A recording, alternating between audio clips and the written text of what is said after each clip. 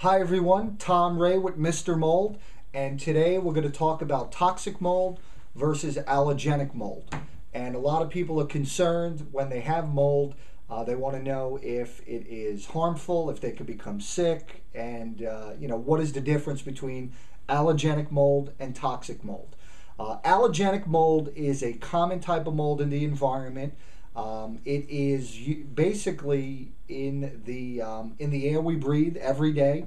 Uh, it's the type of mold that a lot of people refer to as mildew. Uh, if you ever go into a shower and you look between the, the grout of the tile, you'll see some dark or green, um, and that is mildew, and that is uh, allergenic type mold. It's not toxic. Um, allergenic mold is very common, as I mentioned, outdoors. Uh, it's very helpful in the environment. It breaks down dead matter like leaves, and uh, it's very essential in the whole ecosystem of how things work. Uh, and it is very common. Our immune systems are, for the most part, uh, adapted to handling it, breathing it in. And in some cases, some people have an allergy to mold. Uh, these people who are allergic to mold and uh, specifically allergenic type mold uh, will feel respiratory uh, issues. They will feel lethargic, headaches, um, blurriness in vision. Uh, they might even get a skin rash when they're exposed to allergenic type mold. And most people who have a normal, healthy immune system, and we come into contact with allergenic mold, our body is able to handle uh, inhaling and exhaling it, and there's no effect. Now, toxic mold is a little bit different. Toxic mold is a uh, couple of species of mold and fungal with which is able to um, cause more severe illnesses. And the medical community is still out there doing research on it.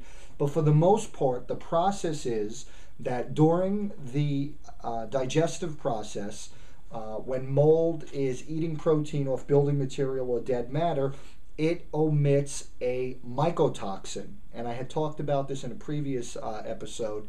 Uh, it creates a smell, and that's a, a volatile organic compound, an MVOC.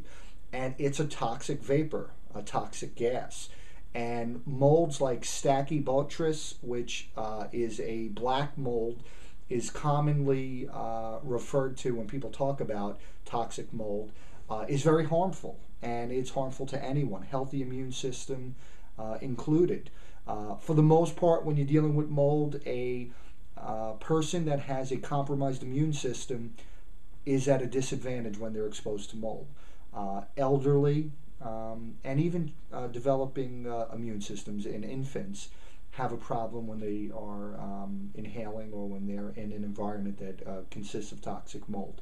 Uh, so basically, if you suspect you have toxic mold, if you see a very dark uh, tar-like substance on building material, specifically sheetrock and wood and insulation, it's possible that it's toxic. Uh, you should consult to a professional and if you are in the environment outside and you're breathing in normal air and you know you have some allergenic mold out there on certain days when it's windy um, you know you might feel uh, respiratory constriction uh, or other uh, issues this could be that you're allergic to mold and you should see an allergist an allergist will provide you with a test and the test will tell if you are allergic to mold uh, some other tests that they do is if you're allergic to pollen. And, uh, you know, so basically, I think that if you are someone who knows when you walk into an environment and you feel these ways, you might want to consult with an allergist. So that's what we have for today. Thank you, and we'll see you again soon. Bye bye.